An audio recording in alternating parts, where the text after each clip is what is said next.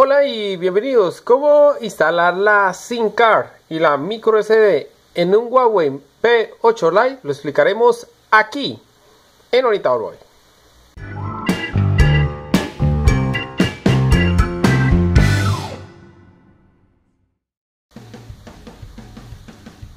Bueno, para hacer la instalación de la SIM card y la micro SD vamos primero a tener en cuenta unas cosas para poder hacer este proceso. Recuerden que para hacerlo debemos dirigirnos a estas dos partes de ranura y utilizar la llave que viene en la caja con Huawei o utilizar cualquier tipo de llave de otra marca. Acá tenemos esos diferentes tipos de llaves que pueden encontrar directamente. Y en su defecto, si no tienen ninguna de esas, utilicen un clásico clip. Entonces sencillamente lo doblan y lo que hacen es sacarlo acá. Acá. Y acá lo pulsan. Y sale directamente la primera bandeja. La primera bandeja no sé si acá podemos mostrar es donde va la SIM card. Entonces ahí está hablamos de la SIM card. La SIM card viene de varios tamaños. Está el tamaño de la SIM normal y la tamaño de micro SIM. Ese equipo utiliza una micro SIM lo que hacemos es colocarla de esta manera. Vamos a colocar una digamos se puede decir una real. Acá tenemos una real para colocarla. Y lo que hacemos es suavemente en la bandeja acá tiene que entrar sin ningún tipo de dificultad.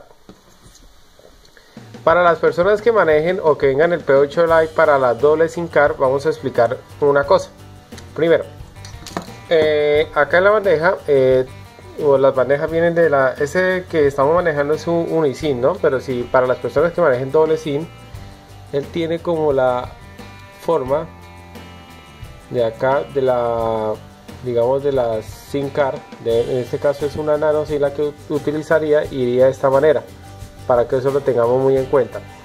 Si utiliza la nano SIM y si es doble SIM card no para que sepamos y si no, pues ustedes utilizan una micro SD, una micro SD normal, iría de esta manera.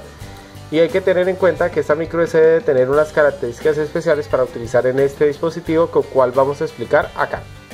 La mayoría pues conoce lo que es una memoria micro SD y una SD que van en todos los dispositivos móviles, el cual pues aumenta el almacenamiento pero estas memorias adicional a eso vienen por clases. La mayoría pues conocen su capacidad y se enfocan mucho en el almacenamiento, pero no conocen que esas memorias también manejan una clase como lo pueden ver y como lo estoy señalando en este momento.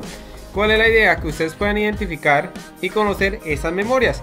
Entonces vamos a ir acá a Wikipedia. En Wikipedia pues nos explica claramente eh, las diferentes clases de estas memorias, el cual pues se dividen básicamente en cuatro, la cual son clase 2, clase 4, clase 6 y clase 10. Es decir, que entre mayor sea el número, es mejor la velocidad de conexión. ¿Por qué? Porque las memorias cumplen la función de trabajar dentro del dispositivo y el dispositivo, en este caso el smartphone o celular, pues hace múltiples tareas como tal. Entonces es recomendable tener una memoria pues bastante grande y también para el tema almacenamiento y una, una memoria veloz, en este caso preferiblemente una clase 10 o en, en su caso una clase 6 que es lo que se debe recomendar y se deben tener. ¿Por qué? Porque se hacen múltiples funciones a la vez. Ejemplo, abrir el WhatsApp, el Facebook, aplicaciones, juegos. Y eso pues lo soporta en parte el dispositivo y en parte la memoria. Un ejemplo clásico que nosotros pues damos acá es, bueno, acá eh, consiste en que ustedes deben tener en cuenta de que si yo compro una memoria ejemplo de 64 GB y es clase 2 como la mostramos acá pues cuando ustedes la coloquen en su dispositivo este se va a tornar lento porque no corresponde la velocidad del dispositivo con la velocidad de la memoria. Esas memorias son muy recomendables de pronto para cámaras digitales pero para un smartphone no.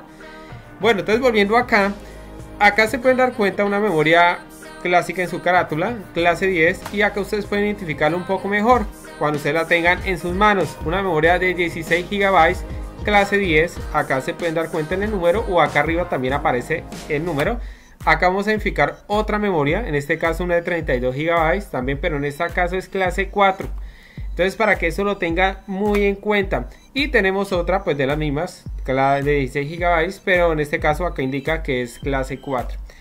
Esto es básicamente lo que son los digamos, las conexiones de la memoria que ustedes deben de tener en cuenta para que puedan comprar y sacarle todo el jugo a su smartphone. Entonces vamos a seguir acá con nuestro tutorial. Bueno, ya teniendo claro el tema de las micro SD, lo que hacemos es dirigirnos a nuestro equipo, ponerla y como nos damos cuenta ya está generando la lectura de la micro SD. Entonces así es de rápido, fácil y sencillo generar una, una instalación de la SIM card y la micro SD en un Huawei P8 Lite. Espero que este video tutorial les haya gustado. No se olviden suscribirse a nuestro canal, únicamente dándole manito arriba para que YouTube te notifique y reciban todas las actualizaciones. Chao, hasta una próxima.